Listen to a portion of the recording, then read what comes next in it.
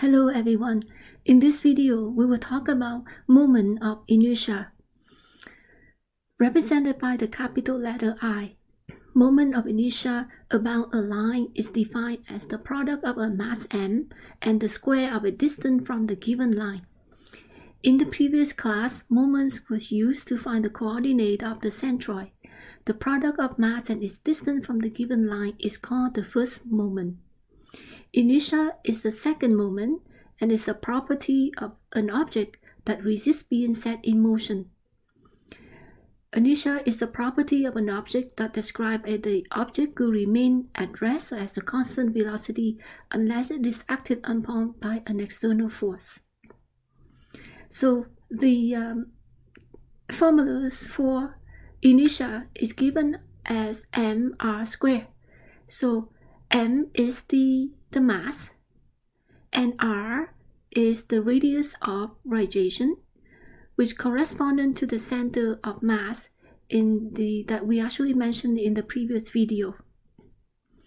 And if you recall that we were talking about the moment uh, as m times the distance, and in this case, if we square the distance times the mass, will give us the inertia. In terms of calculus, we will have to uh, find the moment of inertia of an area with a constant density with respect to x and y axis. The formula is given as this.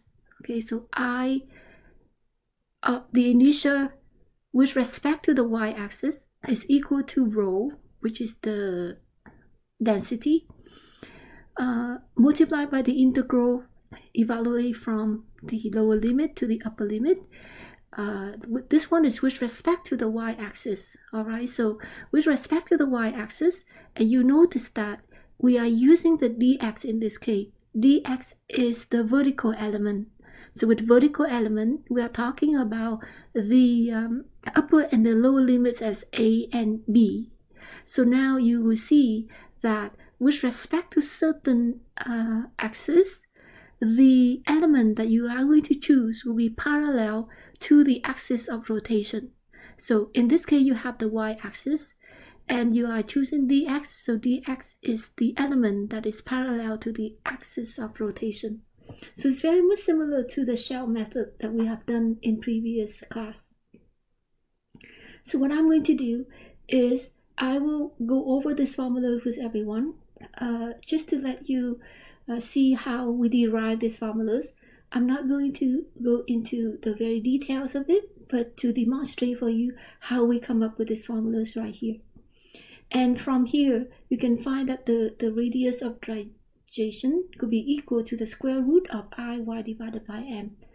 And the similarity for the uh, uh, r for the ix as well. Again, ix is the moment of inertia of an area of constant density with respect to the x-axis all right? So if with respect to the x-axis you are going to choose the element that is parallel to the axis of rotation.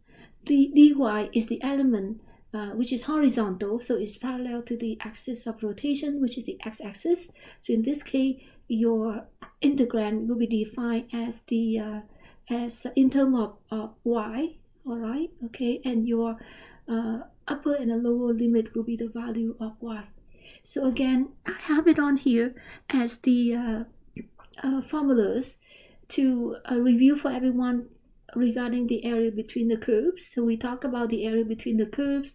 That means we are going to take the upper function minus the lower function, or we take the right function, subtract the left function in this case. All right.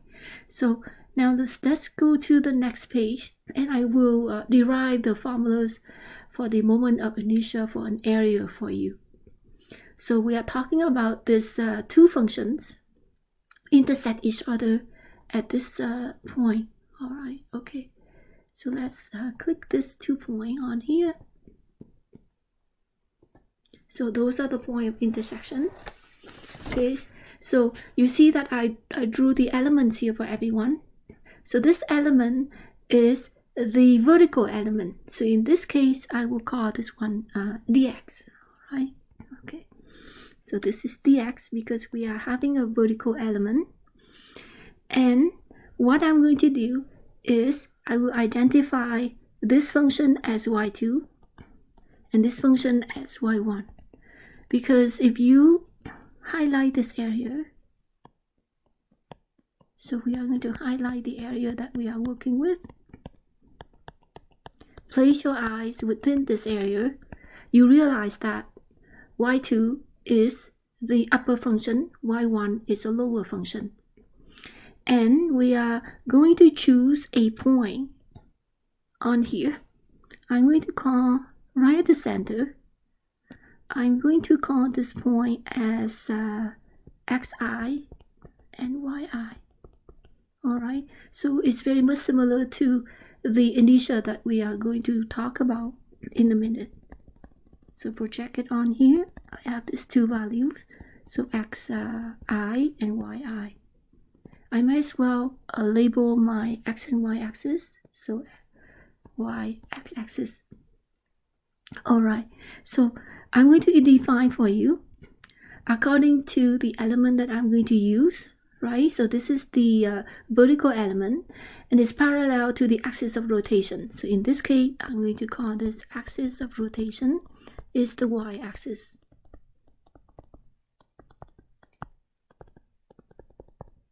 Alright, okay, so don't forget the element is parallel to the axis of rotation. Okay, so let's talk about the area first. So if I want to find the area, then this will be equal to the integral from a to b of y2 minus y1 and we are going to integrate this in terms of x. Alright, so what is the definition of moment of inertia? So moment of inertia is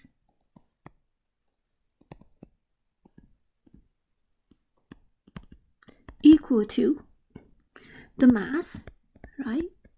And then we multiply that with the moment arms and then we square that. All right, okay.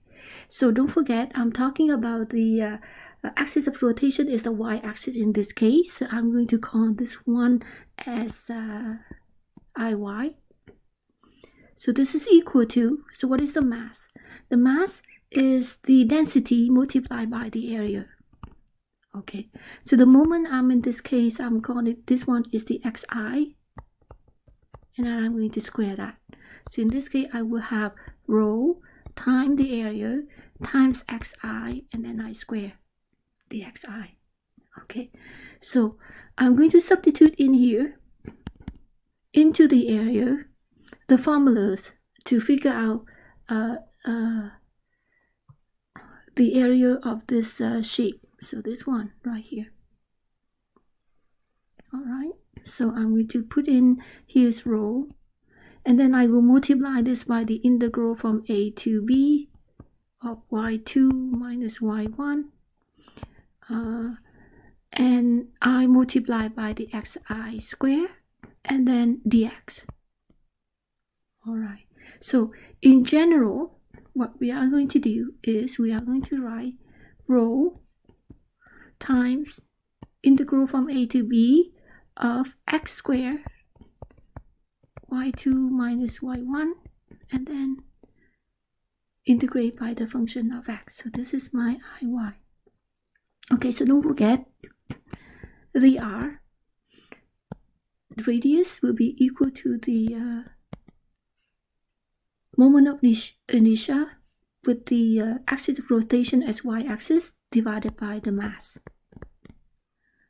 Alright, so similar, I will write I x will be rho, okay, times c to d in this case, you know that you are going to use the horizontal element, right? So which is uh, parallel to the axis of rotation as the x-axis. Okay, so the uh, um, x beside the i and the, the y beside the i, this one indicate to you the axis of rotation. So this one is the axis of rotation is the x-axis because it's parallel to the x-axis so I'm going to use this formulas here and I will write y squared here is my x2 minus x1 and dy and similar r will be equal to the ix divided by the mass. So what we have in this case is we are going to um, work with the right function, subtract the left function, and then uh, our integrand will be in term of y. All right, so let's just uh, make a, a big um, reminder for everyone here. Okay, so we are going to talk about this is the mass. Okay, m, and then the uh, radius of gyration is defined as r. Will be similar to this symbol right here. Okay. So i'm going to give you the definition of r. Okay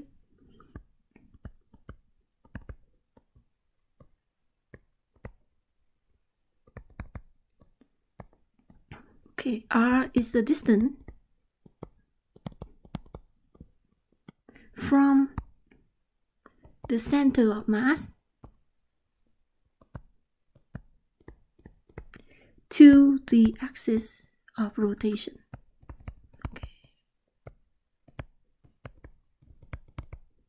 Okay. so what you do is you locate the center of mass and from there you draw a line perpendicular to the axis of rotation that is your radius of gyration r. All right. And all the formulas are uh, identified for us here. And i would like everyone to make sure that we remember this. All right. Okay. So let's work with example. Okay example one okay so i have a, a complete blank space because I actually give myself a lot of space to write. However, I don't think I need that at all. Okay, so let's just um, continue with our example.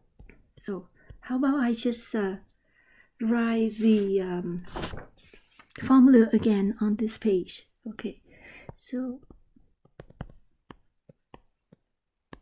from A to B, so don't forget our axis of rotation is the y-axis.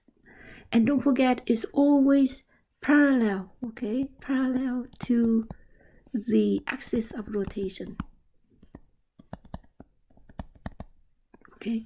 And iy is the moment of inertia with the axis of rotation as y.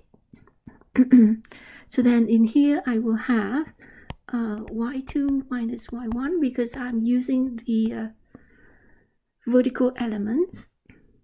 And here I should have x squared and dy. And I'm going to draw for everyone. Here is the axis of rotation. And this is alright so here's my y here's x. And how do I define here's my r okay. Then what I have next is the ix. So that could be rho from c to d y squared and x2 minus x1 and here's dx all right. So in this case I should have it as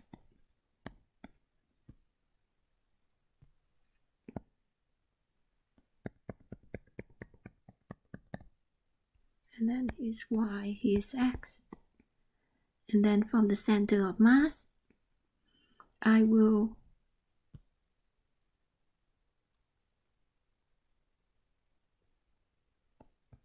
so this is my R. Alright? Okay. So let's continue with our example. So example 1 find the moment of inertia and the radius r of an area with constant density cover the first quadrant bounded by y squared equal to 1 minus x with respect to the x-axis. Okay, so it's very important in this case that we remember if we said with respect to the x-axis, that means you are going to use the formula ix. All right, so I will write it down right away. Ix equal to rho from C to D of y squared, and then we should have uh, x2 minus x1 and uh, dy, right? Okay, so that's the formulas that I need to use uh, in this case because they are giving us the axis of rotation. So I'm going to draw the axis of rotation here. And I remember that working with the moment of inertia, my elements will have to be parallel to the axis of rotation. So in this case, first of all, let's highlight the area that we have to work with. So right here is the area that I have to work with because it's only in the first quadrant.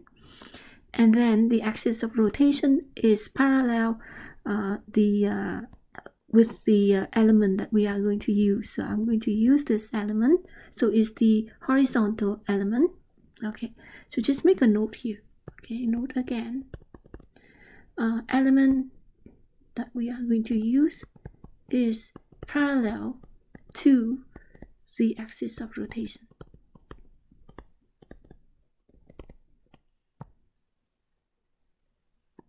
Alright, so in this case, I'm going to use dy and um, I am going to identify the uh, y2, I mean the um, the x2 and the x1. All right, okay. So right here I have um, uh, y square equal to 1 minus x. Okay, so right here y 1 minus x.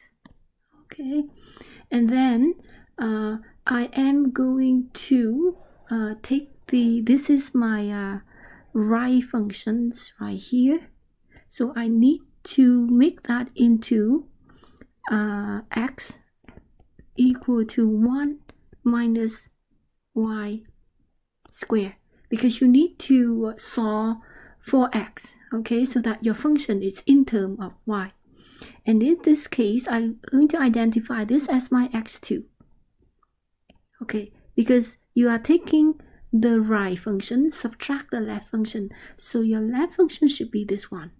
Okay, so that means you are touching the y-axis in this case. So what is the formulas for the y-axis? That means x equal to 0. So my x1 is equal to 0. So what I'm going to have is ix, in this case, is equal to rho okay, from C to D of y square, and you are going to take uh, 1 minus y square subtract 0 because this is your x2 subtract your x1 and now you see your integrand everything is in term of, of y. And what you need to do next is to find the upper and the lower limit which is c and d. So this is actually quite obvious. All right okay. So if it's the first quadrant, okay, then what I'm going to do is you can see right away what point is supposed to be, but the, the way to uh, solve it will be this, okay, to find C and D, okay, you are going to let x2 equal to x1. So that means I am going to have 1 minus y squared equal to 0 so 1 equal to y square. So in this case uh, y should be equal to this plus or minus square root of 1 so y equal to uh, plus 1 or y equal to minus 1 alright so in this case because we are only work with the first quadrant therefore uh, I will have c equal to 0 and d equal to 1 so the point 0 and 1 in this case. Okay so now let's substitute it into our integral and we are going to integrate. Okay so I should indicate here we only work with first quadrant. Therefore my c is equal to 0 so now I will have ix equal to rho from 0 to 1 and what I'm going to do is I will multiply uh, y square into what I have inside the bracket. Okay.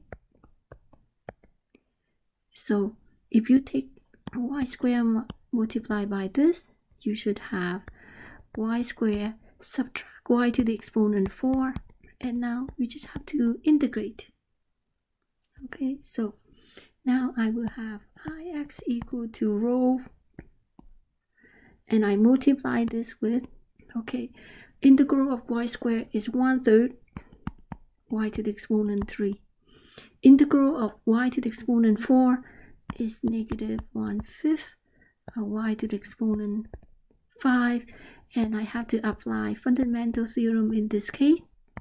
So that will be rho.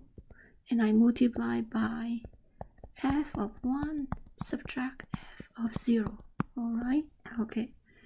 Go on to the next page but I realize that this one is a 0 for sure right because you have y in each of these terms you substitute 0 in here your f0 will be equal to 0 okay on the next line, I will write it like this.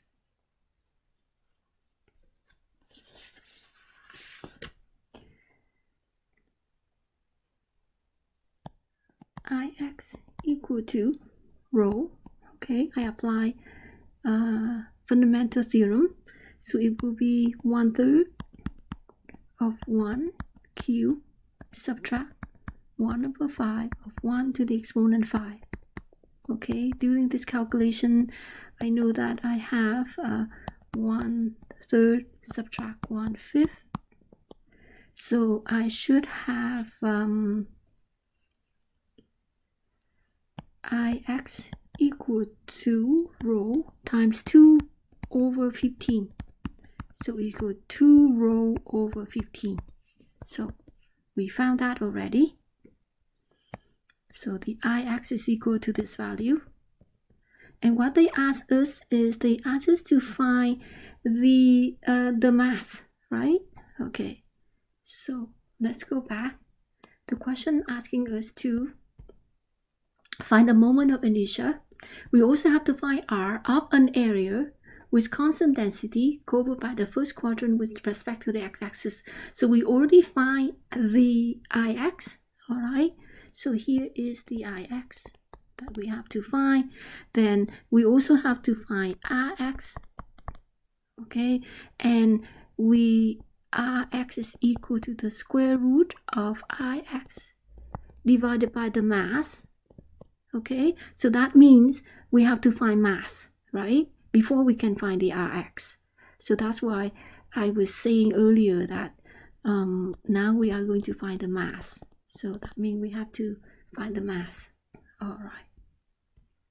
So to find the mass, we need to remember, so let's write our Rx equal to the ix divided by m, and then m is actually rho times the area, as we uh, have indicated earlier. Okay, so now we have to find the area first before we can uh, time this with rho okay so the area is equal to the formula is given to us as uh, uh, c2d x2 minus x1 uh, dy all right so then a is equal to the integral from 0 to 1 of 1 minus y squared dy. Okay, so in this case, I should have y subtract one third of y to the exponent 3 integrate from 0 to 1 and I should indicate that it should be f1 minus f of 0 and I know that the f0 is equal to 0 in this case. Alright. Okay. So